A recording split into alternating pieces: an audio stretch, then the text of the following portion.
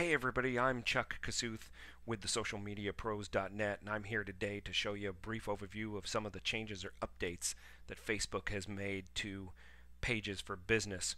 This is something that they forced on all pages uh, effective March 11th and things look a little different. Actually looks uh, more like your personal profile.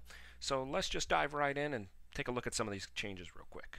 So here we're looking at the old style of pages uh, prior to March 11th, and we see the typical familiar tabs or applications across the top. And just as before, you're going to access your pages via your personal profile and pull down the Account tab to use Facebook as page.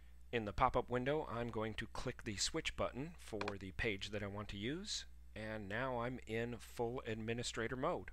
We can see that the page name has changed and the edit page button is in the upper right.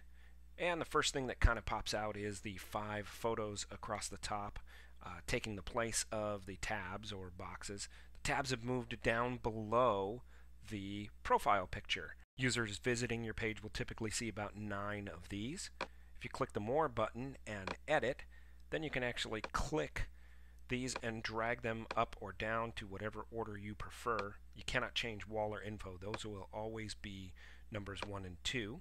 And real quick, back to the photos at the top. These five photos are randomly placed here and the order does change. You can click the little X in the upper right hand corner to remove them, but there doesn't seem to be any rhyme or reason to Facebook actually controlling what goes there.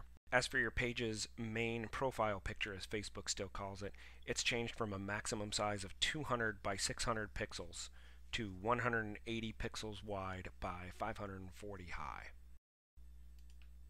Clicking the Edit Page button takes you to Manage Permissions and Basic Information. The About field under Basic Information is the text blurb that used to be located under the profile image and it is now moved to the Info page.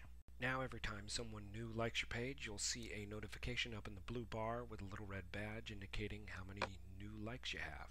Back on the wall is a new filter for users and administrators alike to switch between top posts and most recent, or the uh, chronological order we're used to seeing.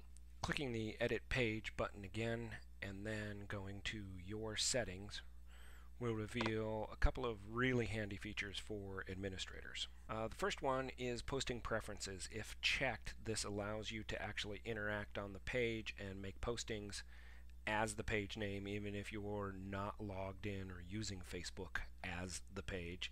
And email notification sends you an email anytime somebody posts or comments on your page. So I'll go ahead and wrap up talking about the Use Facebook as Page feature. This allows any page administrator to seamlessly interact as the page name, business name, brand name with their fans and comment as the page name. This has sometimes been a, a, very cumbersome task to achieve in the past with multiple page administrators. Now Facebook has made that extremely easy and powerful. Actually, I should show you how to get back into Facebook as your own personal profile. You're just going to go up to the Account tab in the blue bar click and pull that down and just select switch back to your profile name and that's all there is to it. So that's it for our quick review of Facebook's Pages features from the March 11th, 2011 update. If you have any questions regarding your Facebook business page, please feel free to contact us at any of the methods shown here. We thank you so much for watching and hope you have a great day.